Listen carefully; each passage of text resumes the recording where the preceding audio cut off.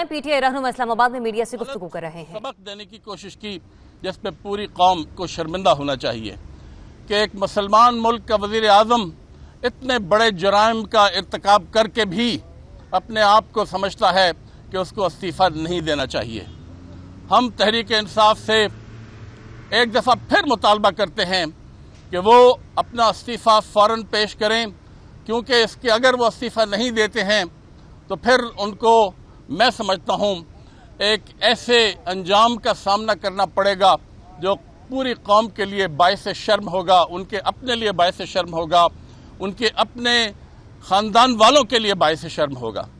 तो अब भी वक्त है कि वो एहसास कर लें कि जीआईटी की रिपोर्ट के हक़ाइक़ जो हकीकता सुप्रीम कोर्ट की रहनुमाई में सामने आए हैं क्योंकि जेआईटी सुप्रीम कोर्ट ही ने बनाई थी और जो बेतहाशा और बेशुमार इल्ज़ाम जो रोज़ रोज़ नए इल्ज़ाम आ रहे हैं नवाज़ शरीफ को एहसास होना चाहिए कि वो कौम से बहुत बड़ी ज्यादती कर रहे हैं। अब तो छोटे छोटे बच्चे भी उनके खिलाफ बातें कर रहे हैं और मैं खुद रोज़ाना 11, 12, 13 साल के जो बच्चे हैं वो कहते हैं कि इनको जाना चाहिए। वो इनके खिलाफ ऐसी ऐसी बातें आ रही हैं मीडिया पर कि मैं समझता हूँ कि कोई शख्स जिसको ज़रा सी भी शर्म होती तो उसको इस्तीफ़ा दे देना चाहिए था। अब पिछले तीन साल से इस्लामाबाद में दफ़ा 140 इस हुकूमत ने लगाई हुई है और अभी गालिबा दो दिन पहले उसको दो महीने के लिए उसको एक्सटेंड कर दिया गया है, जिसमें 14 अगस्त भी शामिल है।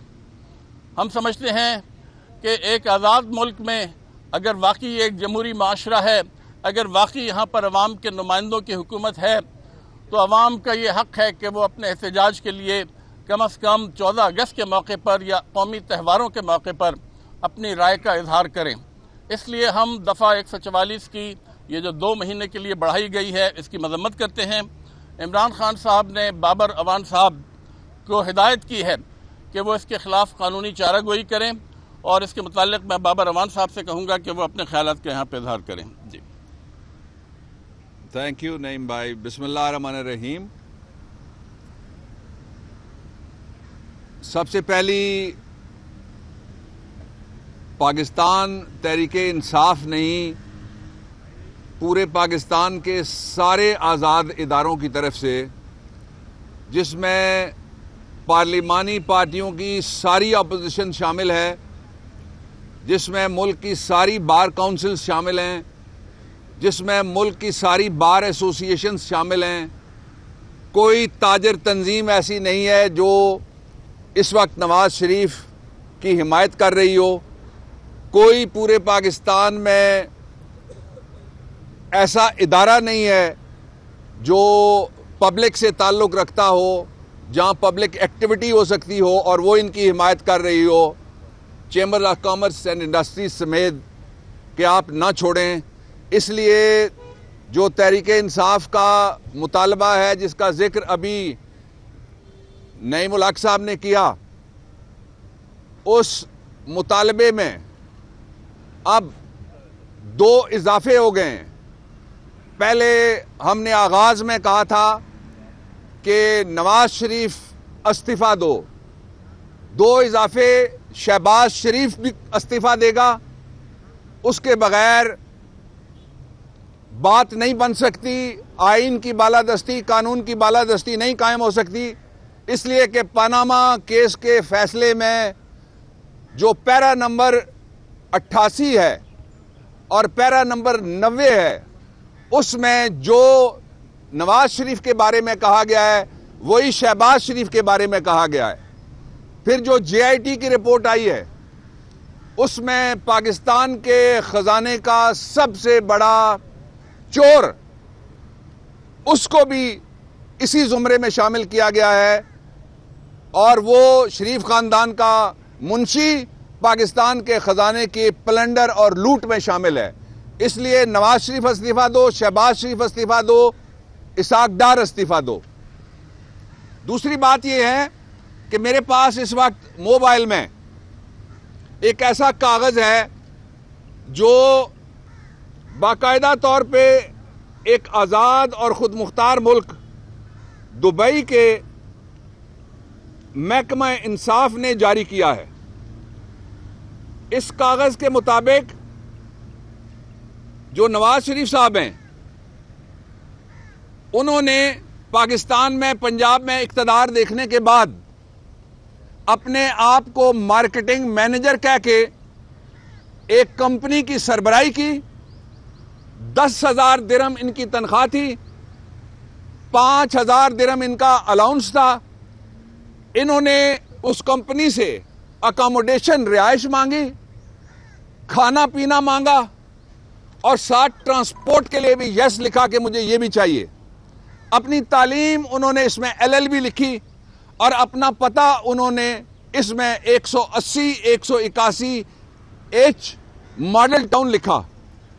ये सारी बातें पाकिस्तान का पूरी दुनिया में इस वक्त पाकिस्तान आलमी लतीफा बन गया ये अपनी करप्शन छुपाने के लिए इस मुल्क को कितना तनहा और करेंगे। ऐसा ही एक सर्टिफिकेट जारी किया है कतर की हुकूमत ने।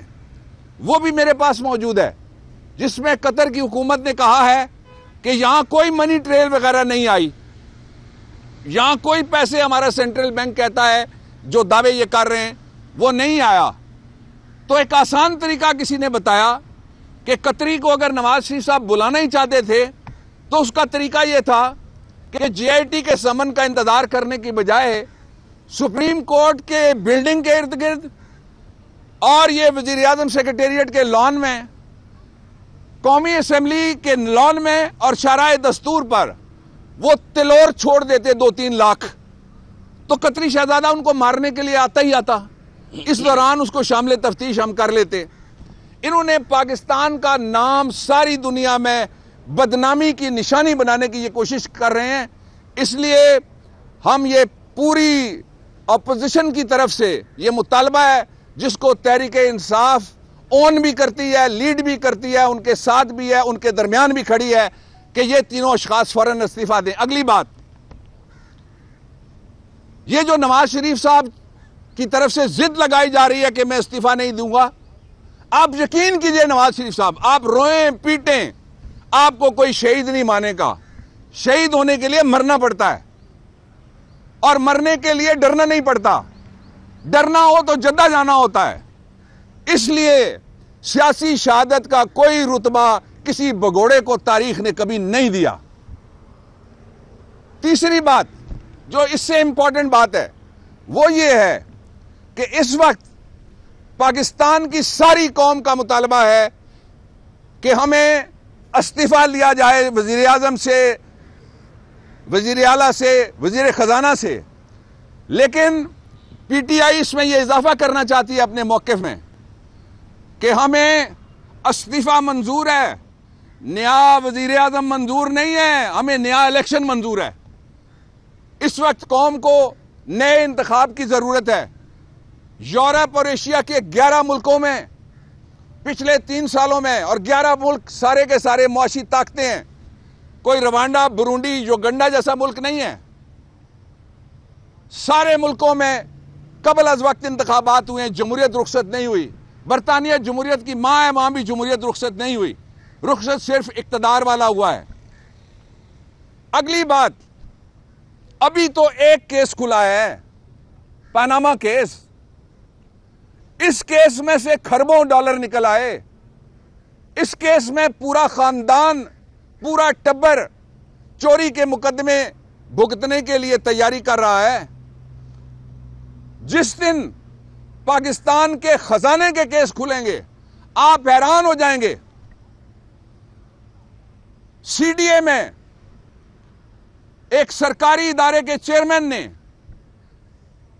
जो अखबार में कॉलम भी लिखते हैं उनका बेटा वो सबसे जो कमाऊ पूत है सीडीए का इदारा, जिसको कहते हैं मेंबर ए, वो लाहौर से ट्रांसपोर्ट करके सुप्रीम कोर्ट के फुल बेंच के फैसले के खिलाफ उसको यहाँ लाया गया और उसको बिठाया गया है। लूट मार का एक लंडा बाज़ार लगा हुआ है। अगली बात, एक मुलजिम एससीसीपी का चेयरमैन, जिसको भागने से रोकने के लिए ईसीएल पे उसका नाम डाला गया। जेआईटी की रिपोर्ट पे एफआईए ने उसके खिलाफ पर्चा किया। ये अयान अली को पकड़ने वाली फेडरल इन्वेस्टिगेटिंग एजेंसी हिजाजी को क्यों नहीं पकड़ सकी? कल उसने अपने इजलास मुनद किए। मैं इस बारे में कानून भी कौम के सामने रखूँगा। और इजलास मुनद करके उसने धमकियाँ दी कि मैं तुम सबको देख लूँगा।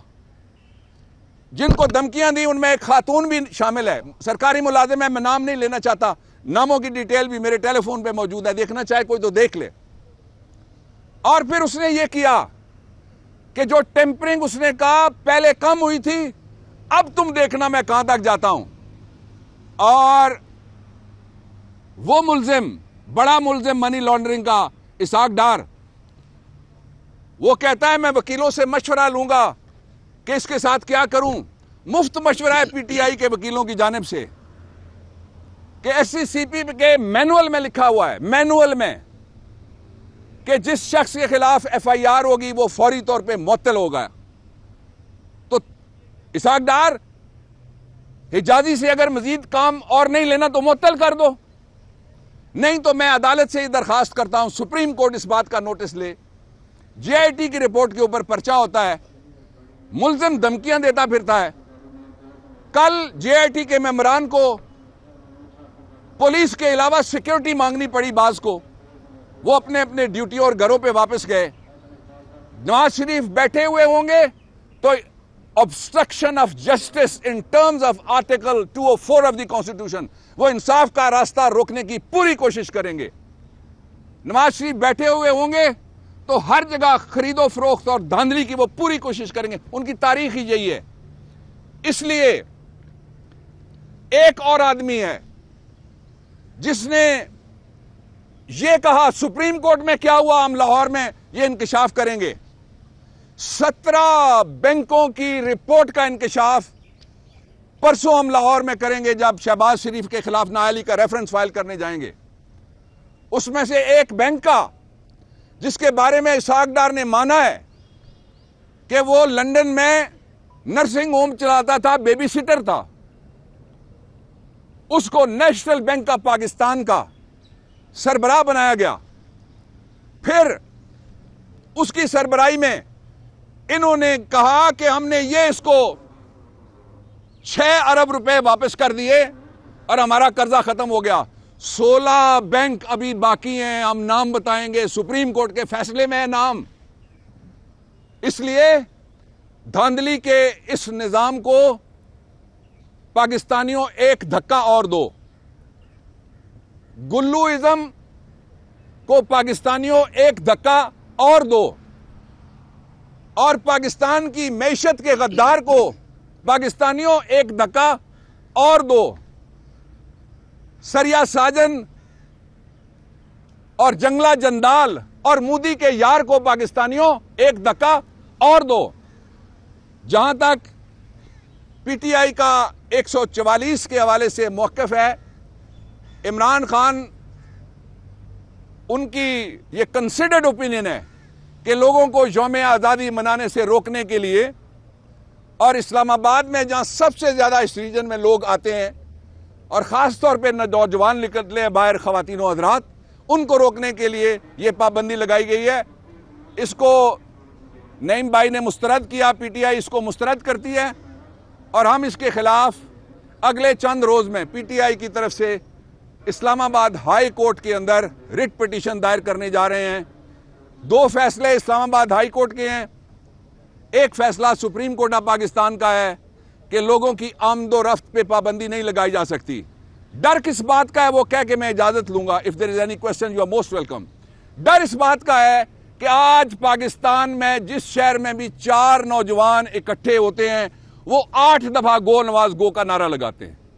और इनको पता है कि चौदह अगस्त वाले दिन, इनको पता है कि तेरह अगस्त की रात को, इनको पता है कि जो जलसा होगा, जो जुलूस होगा, जो रैली होगी, जो नौजवान बाहर निकलेगा, उसकी ज़ुबान पे सिर्फ़ एक नारा होगा, गो नवाज़ गो।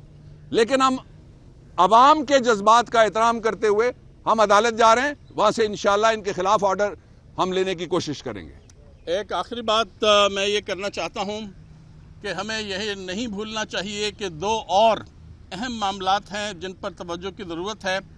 तहरीक इंसाफ और पाकिस्तान के अवाम नहीं भूले कि मॉडल टाउन में जिस तरीके से शहबाज शरीफ के अहकाम पर नहत्ते और मासूम अवाम का कत्ल आम किया गया, उसकी रिपोर्ट को दबा दिया गया। नवाज़ शरीफ उसमें मुलविस थे ताकि इनका भाई बच जाए। और इसी तरह जब पाकिस्तानी अफवाज के ख़िलाफ़ वज़ी अजम के घर से एक साजिश का आगाज़ हुआ, उसकी जो रिपोर्ट थी उसको भी दबा दिया गया। सिर्फ़ इसलिए कि वज़ी अजम ख़ुद और उनकी साहबजादी इसमें मुलविस थे। उन्हीं की तरफ़ से पाकिस्तानी अफवाज के ख़िलाफ़ ये साजिश शुरू की गई थी। हम ये दो मुतालबात कायम रखेंगे और इन पनामा के फैसले के बाद हम पूरी कोशिश करेंगे और एक इतजाजी मुहिम चलाएँगे कि ये रिपोर्ट्स अवाम और पाकिस्तान की बेहतरी ये है कि ये रिपोर्ट जो हैं, ये शाये कर दी जाए। शुक्रिया।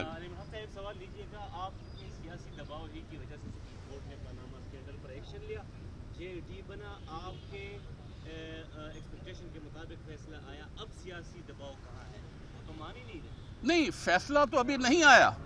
अभी एक तफ्तीशी रिपोर्ट आई है जो फैसला नहीं है। फैसला सुप्रीम कोर्ट का आएगा और इन ये फैसला जो है वो सच पर मबनी होगा वो हक़ पर मबनी होगा वो पाकिस्तान के अवाम के जज्बात की अक्सी करेगा।